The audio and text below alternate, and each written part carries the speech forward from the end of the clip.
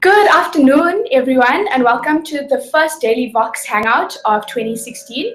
We're at the Oxfam offices in Braamfontein, and we're chatting to Oxfam SA about inequality in South Africa. In case you haven't noticed, we've taken on a partnership with Oxfam. We're running a few articles this week about inequality and how it relates to South Africa and the actual situation. So we're here with Ayabonga Cawe. Did I get it right? Cool. Um, he's Oxfam's Economic Justice Program Manager. And Ayabonga is going to be chatting to us about the, the latest Oxfam report. It's called um, The Economy for the 1% and how it actually relates to us here in South Africa and what Oxfam actually does here in SA. So thank you for joining us, Ayabonga. Thank you for Ayabonga, sorry. Um, so basically to start off, what does Oxfam do in South Africa? As far as I remember, you guys are a charity or an aid organization. What kind of stuff are you guys doing now? So, so Oxfam is an international NGO um, that was started in, in Oxford in the UK, um, but which now is a confederation of um, a large number of, of um, organizations in the global north and in the global south. What Oxfam does in South Africa is um, a mix of sort of tangible capacity building and strengthening work with uh, programs, and also a mix of uh, public advocacy as well. So a lot of the work that we do rests on how we can influence um, particular kinds of policy discussions Okay. with the intention of, um, you know, creating a policy environment that speaks to the central core of our work, which is the eradication of poverty across the globe. Okay, so obviously inequality is a big deal for you guys. It's one of your, your biggest focus areas. Yeah, indeed. Okay. Um, and what do you do as Economic Justice Programs Manager at Oxfam? So as Economic Justice Programs Manager, I, I manage the aspects of the Oxfam Country Program that relate directly to economic justice, and that rests on three pillars.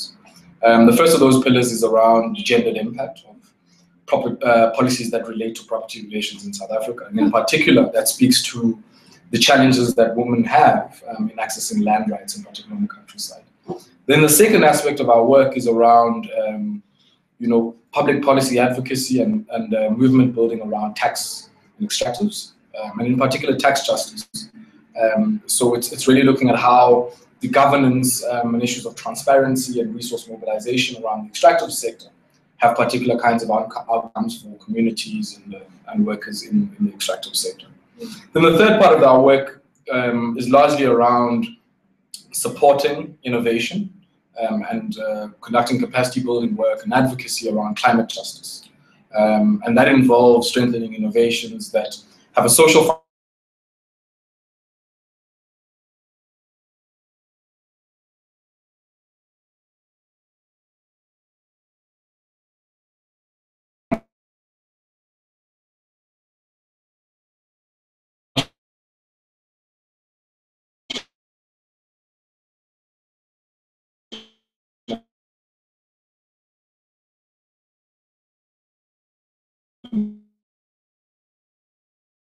purpose, confined to some of the humanitarian work and the charity work that you've spoken about, but also to providing grants to, to similar organizations who do a range of the implementation work. Okay, that's really interesting. So let's chat about the Oxfam report that was released at the beginning of this week. It's called The Economy for the 1%. And without going into statistics, I'm not going to tell people how many billions of people are really, really badly off and how 62 people are really, really fantastically off. But um, basically, the you know the gist of the report says that the rich are getting richer, the poor are getting poorer, inequality is getting worse globally, right? So how does that report actually relate to South Africa? We know we're one of the most unequal societies in the world. So how does that global report actually relate to us down here? So, so the report, as you said, is titled "An Economy for the One Percent," and I think it might be helpful to explain where sort of this language of the one percent versus the ninety-nine percent Yes. comes from. Um, you will remember that there was a large deal of community mobilization around um, sort of the fallout of the 2007-2008 The Occupy Wall crisis. Um, yes, which led to, to the Occupy movement. Yeah. Um, and there was a sense at that point in time that the impacts of that economic crisis, which was caused by sort of deregulated financial markets that were able to create sophisticated and complex derivative products that no one really understood, but had, you know, the power and the potential to create unsaid economic vulnerability across the globe. So, so I think what has then happened since then is that there's been a greater focus, especially from organizations like Oxfam and indeed from policymakers around the questions of inequality. And I think what this report does, following on from the report that we conducted in 2014, the Even It Up report, yes. is that it hones in and focuses in on one aspect that we think is a major driver of inequality globally, Yeah. which is the inability of many countries to prioritize their domestic resource mobilization issues because many of the multinational companies that work in those countries um, you know, have the incentive to actually um, sort of underreport much of their much of their uh, income, um, and also shift a lot of that income into sort of uh, commissions and service charges and a range of other things offshore to some of their shelf companies and tax havens. And therefore, the main message that's coming out of this uh, report is that tax havens are a focal point in our fight against inequality. Yeah. Um, and that's one of the key policy asks to say, can we come out of not only Davos, but actually come out of a range of other you know, global governance platforms that we're going to have in 2016 with a clear message on, on what it is that we're going to do to tax havens in order to address inequality on a global scale. So can you break it down for us? What is the issue with tax havens? Why are they such a bad thing? What are they, you know, how are they increasing inequality in, in the world?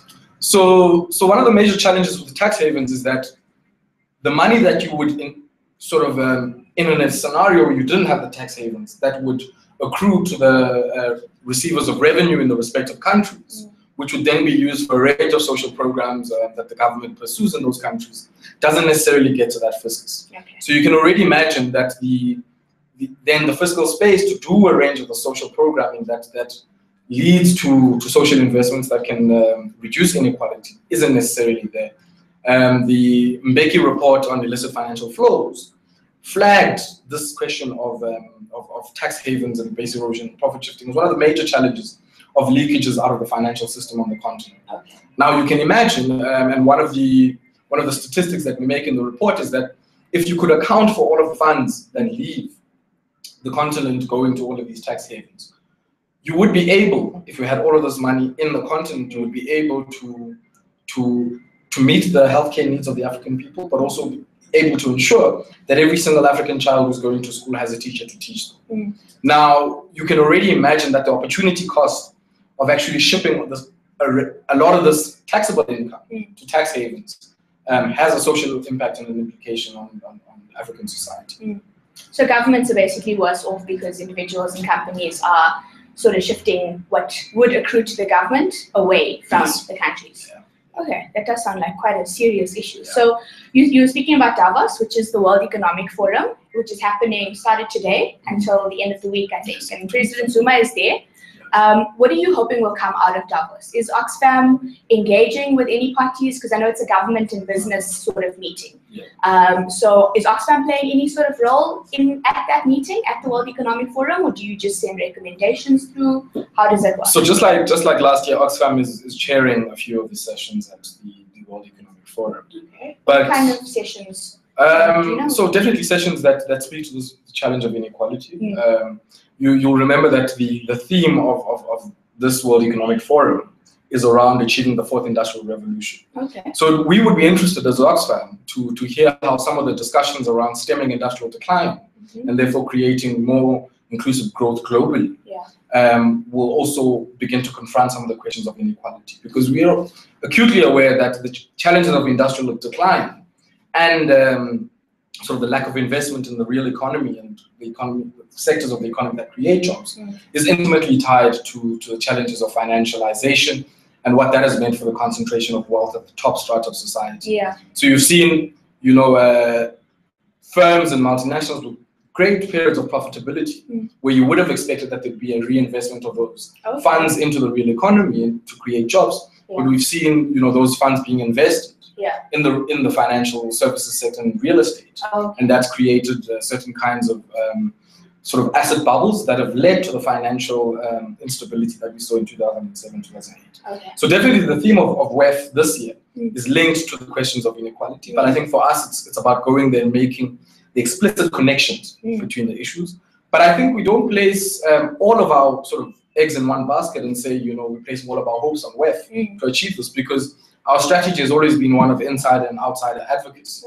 So, so we, we're still saying that the most important site for us is the discussion outside of, of the ski resort of Davos, Okay. um, where a range of stakeholders across society are able to engage and have greater awareness around inequality, um, with the intention of actually influencing policy change that can lead to systemic um, outcomes that reduce inequality. Yeah. So, so for us, that's the focus. Yeah. That was going to be my next question: is whose job is it to actually try and reduce inequality? Because I feel like the rich are rich for a reason, right? They found a way to hang on to their money, and they're not going to give it away or, like you said, reinvest in social programs that you know that would help their their own countries when they can keep it all for themselves, right?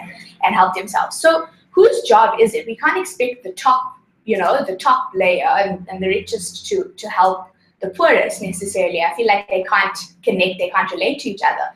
So, like you said, you mentioned stakeholders that you guys are engaging with. Who, who are some of those stakeholders? What kind of people and classes of people do you engage with, or organizations or businesses to try and reduce an, um, inequality? Look, I mean, this is a global campaign that Oxfam has been running. Um, and tactically, I think one of the major reasons why we, we sort of identify the policy process as a key lever for systemic change. Um, Because you can policies imagine- get changed yeah. at the top, right? they get changed at the top, but I think also in many instances we've seen across the globe that policies change due to a lot of resistance and expressions of popular discontent from below. Okay, so Um, like activism and Indeed, engagement. indeed. And, and and one of the things that we have said is that, you know, we, we don't, as communities outside of the business community, Mm, elect people that sit as shareholders that make decisions Yeah. um, around corporate strategy and a range of other things. But what we do do is to elect the public officials that then create and lead that policy process. And what we are saying is that, you know, in as much as inequality is an economic issue, Mm. I think the eradication of inequality is going to require a political process yeah, um, that's going to, as we've already done here in South Africa, I mean, for the past 20 years, we've been speaking of the triple challenges of inequality, uh, unemployment, and poverty. okay. But I don't think we've we've been able to say what is the key systemic policy program that we would uh, propose to, to deal with the questions of inequality. Mm. Now, one of the ways in which we've already in the past begun to, to sort of um, achieve, try and achieve this kind of systemic change to policy is around the national minimum wage debate. Okay. We identify in the report that um, you know, national minimum wage is one of the proven interventions that can deal with the challenge of income inequality. Yeah. Uh, you know, the experience from, from Latin America Mhm. and a range of other spaces, and even in the West, for instance, indicates that this is a proven intervention that's able to not only address inequality, but also deal with some of the challenges that we have now in South Africa Mm. around boosting aggregate demand in order to achieve the growth that we want to achieve. Okay. So, so I think it's important that for us, that's a strategic entry point. But there's a range of other interventions. I mean, securing land rights for women is an important one for us. Um, ensuring that there's highly subsidized public access to public services is an important one. Yeah. And I think that's a current issue, especially for us because we locate, you know, the challenges and the struggles around free education Mm, as part of that uh, highly subsidized model of, of, of the delivery of public services. Mm. And of course, one of the major challenges that, that, that we have, um, and this and this came out strongly in the Occupy movement, mm, is the relationship between the political process in our countries and the role of businesses in campaign financing for political programs. Yeah. And one of the things that we, we, we are pushing for is to say we're not going to deal with this demon of inequality without ensuring that there's transparency around the funding of political campaigns. Yeah. Because what we're seeing is that you know it's a classical problem of rent seeking, where those who are able or have pockets deep enough to fund political campaigns have an inordinate influence on the policy process Yeah. um, relative to those who don't have those deep. That was what I was was going to ask next. With how much of a role does corruption play? You know, even globally, or you know, sort of people getting into positions of power and using their wealth and influence to to influence policy making and politics.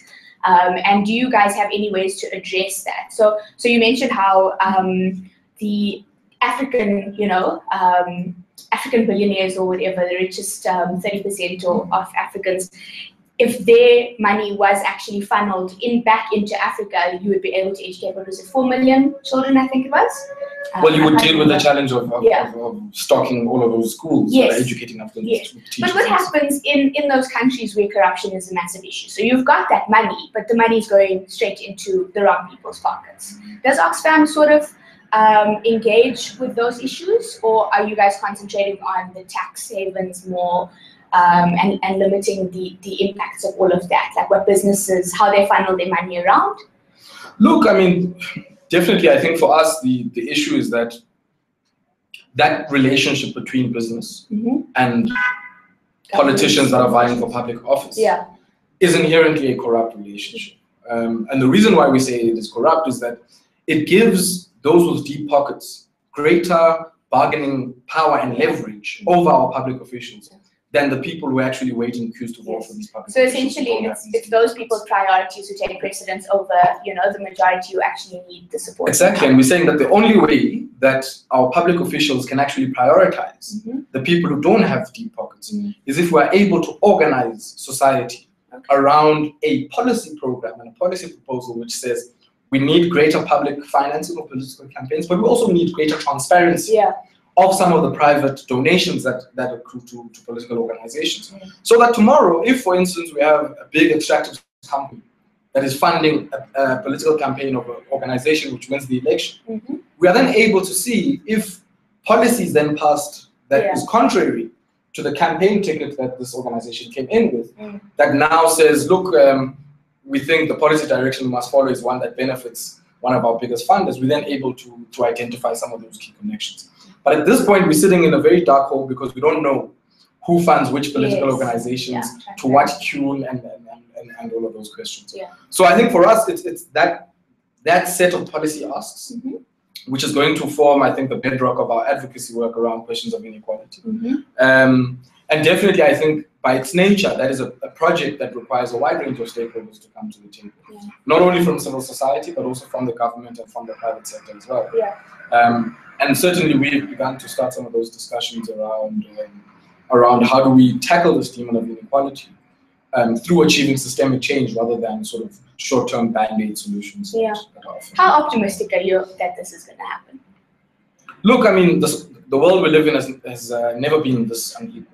Um, and I think, much to sort of the chagrin of a lot of people who say inequality of some degree is always expected in a capitalist Mm. system, we, we at Oxfam are very optimistic that you can create a society where you, you reduce inequality. Mhm. Um, and it's an imperative because I think, you know, if we don't tackle this demon of inequality, we'll never be able to achieve the kind of social cohesion that we think is required for the nation building project that we have in South Africa. Mhm. What will happen though is that the more the status quo persists, Mhm. um, the greater the vulnerability of South Africa Mhm. to conflict that emanates from a range of other factors, be it ethnic conflict, be it economic conflict, which is uh, becoming a, a much greater discussion point for us here in South Africa. at this moment. What do you mean by economic conflict? So by economic conflict, um, you know, I think there's one saying that captures it, which is that, you know, if the status quo persists, at some point the poor will only have the rich to eat. Okay. Um, and I think for us, I mean, that that may be an exaggeration, but I think we're already seeing, if you look at what are the drivers of crime in South Africa, what are the Mm. drivers of, you know, a range, and in particular, very violent crime. Mm. I think it's clear that inequity feeds into that. I mean, if I'm sitting in, in Alexandra and across the highway, You see Sandton? you know, there's the richest square mile on the continent. Yeah. Then, of course, for me sitting here, you know, in rat-infested Alexandra, Mm. um, creates a particular kind of, um, kind of, Anger. no, no, kind of anger and Yeah. kind of angst, right? Mm. Which says, you know, it cannot be correct that you live in a society where this kind of inequality happens. And I think the Alexandra Sandton example is a, is, is you know, is a great microcosm for that kind of, for that kind of issue. So, so I think if we don't address this challenge with the seriousness that it deserves, Mhm. Then you know we we bound to to really activate a ticking time bomb here, which which has the the ability to really shape the foundations upon which we, we're trying to build a new society. Yeah. And just one, I think just to end off, sort of um, historically, obviously, you know, we've had great inequality just from systematic discrimination, apartheid, and stuff like that. So, how much of the inequality, obviously, you can't put a number to it, Sure. but you know, how much of the inequality in South Africa is related to the global inequality issue that Oxfam speaks about Sure. in, the, in your report, and how much of it does stem from our historical background? Because we have a very specific historical background. I think it's a combination of both. Mm. Um, so if I if I can start, for instance, with our own historical background, Mhm.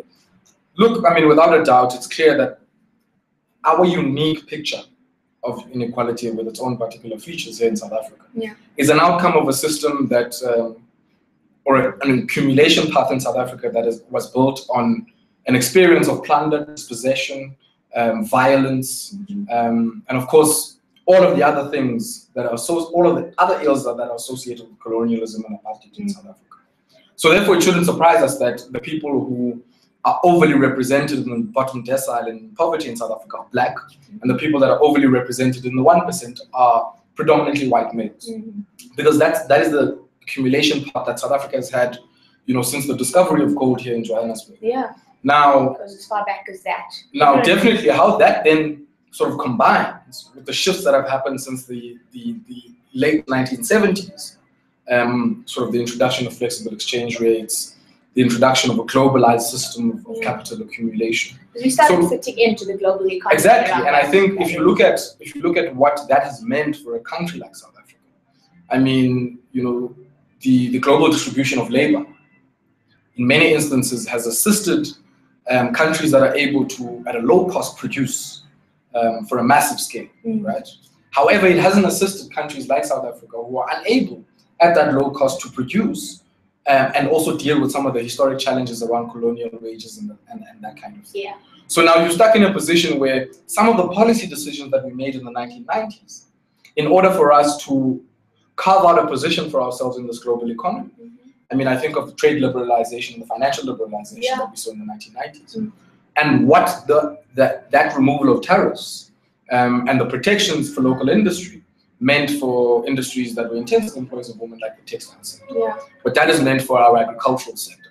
So you can already see that this combination of the historic issues and the globalized economy and our position in the globalized economy because of the policy decisions we made in the 1990s, Yeah. those two factors combined, I think, give us this, this uh, picture of inequality as its outcome. Mm -hmm. And I think it's going to be interesting for us to see how we can begin to claw back some of that space. We definitely can't change the history. Mm. But I think there are some kind of policy decisions that we, we must be able to review. And actually, if we're in a position to say, look, this no longer assists us, then we must be able to, to move out of those decisions. That has already happened with the bilateral investment treaties Okay. and the review and cancellation of some of those treaties that happened last year. Okay. So I don't think we, we're in a spot where you know there's a rigid sort of globalized policy framework that we can't actually maneuver around. Okay. Just on those bilateral treaties, what was the effect of those treaties? Did they just basically give the other countries that we had those agreements with more um, sort of advantages than we had because we were trying to get a foot in the door in the global economy? I mean, it would depend on, on, on the specific agreements because bilateral investment treaties, by their nature, are treaties between two countries. Yeah. So, So it would depend on each. so definitely, I mean, how you negotiate those treaties Yeah. is, is, in many instances, a quid pro quo, right? Mhm. So if I want my oranges to go into India, Mhm. I need to then allow, for instance, India to bring some of their finished manufactured goods or textiles whatever, Yeah. into the economy.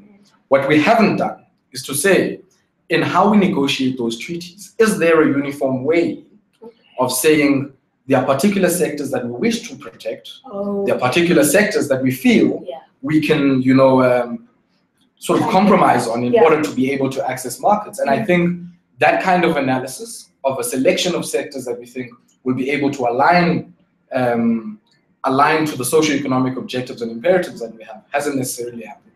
And, and, we, and we do think that this discussion of inequality should feed into that kind of discussion. Mhm. So that's those are the policy decisions that you're hoping to influence. definitely. Okay. Great. Thank you so much for your time, Ayabonga. Thank you so much for taking time out to speak to me. Oh, it's always a pleasure. We love hearing, learning more things about this, you know, everything that's happening in South Africa at the moment. Inequality, as you can see, is a huge issue. Um, so please follow our series of stories with Oxfam. Um, and tweet us. I forgot to mention this at the beginning, but if you have, if you want to join the conversation, please tweet us at the Daily Vox at Oxfam SA and use the hashtag even it up because that's a conversation that we're trying to have in South Africa and hopefully in the rest of the world in, in time to come. Thank you very much for your time. Thank you everyone for tuning in and for periscoping as well. Um, and we'll catch up soon. Bye.